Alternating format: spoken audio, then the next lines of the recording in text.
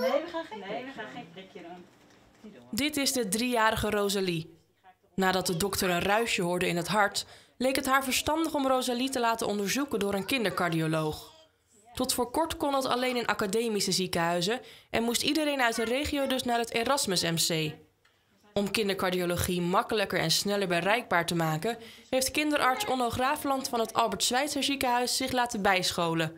Hij heeft nu iedere vrijdag spreekuur in Sliedrecht. Ik ben opgeleid tot uh, kinderarts Cardex, uh, oftewel cardiologie met of expertise cardiologie.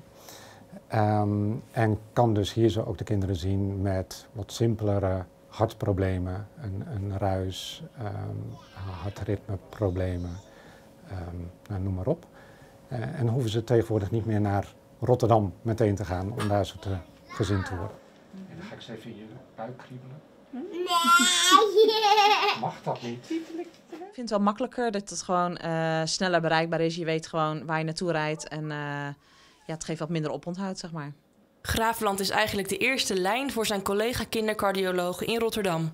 Ik probeer hier zo kinderen op te vangen die niet allemaal daar gezien hoeven te worden. Um, zodat zij zich meer kunnen storten op de moeilijke hartgevallen, de, de, de, de, kinderen ook die geopereerd moeten gaan worden, de, echt met de, uh, de aangeboren hartafwijkingen. Alles gebeurt in nauwe samenwerking en overleg met het Erasmus MC. Zodra er maar een beetje aanleiding is of twijfel, verwijst Graveland alsnog door. In het geval van Rosalie lijkt dat niet aan de hand. Aan de buitenkant zie je verder niet zo heel veel. Aan de binnenkant zag ik eigenlijk ook niks.